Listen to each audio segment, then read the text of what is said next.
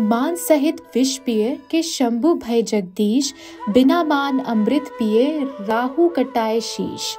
भगवान शिव की लीला ही तो है, जहाँ सभी देवी देवताओं के स्वरूप की पूजा की जाती है। तो वहीं निर्विकार, निराकार और ओमकार स्वरूप महादेव का लिंग रूप में पूजा होती है। लेकिन यह शिव लीला यहीं समाप्त नहीं होती। भारत में कई शिवलिंग ऐसे हैं, जहाँ अपने आप जल की धारा बरसती है तो कुछ का आकार साल दर साल बढ़ता जाता है। मंदिर के पुजारी संतोष उर्फ़ नागा ने कहा कि यह प्राचीन और प्रसिद्ध भूतनाथ बाबा का मंदिर है, जिसकी स्थापना यात्रा के दौरान आए एक संत ने सन उन्नीस में की थी। इस अद्भुत शिवलिंग का आकार हर समय बढ़ता जा रहा है। यहाँ के स्थानीय लोगों ने ही इस मंदिर को भव्यता प्रदान किया है।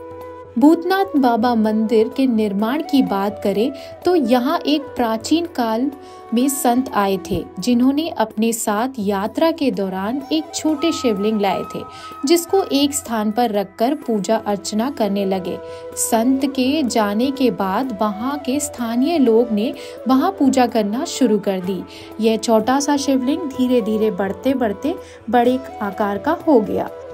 इस शिवलिंग के प्रति लोगों की आस्था भी बढ़ती गई। अतः स्थानीय लोगों ने मिलकर इस मंदिर का निर्माण कराया, जहाँ प्रति वर्ष बड़े श्रद्धा और विश्वास के साथ सभी मिलकर अखंड हरि कीर्तन का आयोजन करते हैं। स्थानीय लोगों की माने तो भूतनाथ बाबा का मंदिर अपने आप में अद्भुत है। यहाँ कई लोगों के साथ कुछ ना कुछ चमत्कार हुए हैं। हर किसी की बाबा मुरादे पूरी करते हैं। इस मंदिर के निर्माण में मुकदमेबाजी वाले लोग का भी काफ़ी योगदान है। क्योंकि यहाँ शीश झुकाकर जो भी मुकदमे लड़ने जाता है, वह जीत कर आता है। तो वह लोग आकर इस मंदिर के निर्माण में सच्चे मन से योगदान देते हैं। हर हर महादेव, मेरा नाम संतोष उर्फ़ नागा है। मैं यहाँ का पुजारी हूँ और ये शिवलिंग अद्भुत है। ये बाबा का जो शिवलिंग है, अद्भुत अपने आप सालों में ये बढ़ता रहता है। हम लोग उसको छोटा लाए थे, छोटा लाए थे, लेकिन आज ये ग्यारह साल में ये इनका रूप, देखिए इनका रूप है ये। इनका रूप थोड़ा सा विशाल होता जा रहा है। इनकी महिमा, शिव की महिमा है ये। ये बलिया नहीं, पूरा यूपी, पूरा भारत ये सनातन का देश रहा है।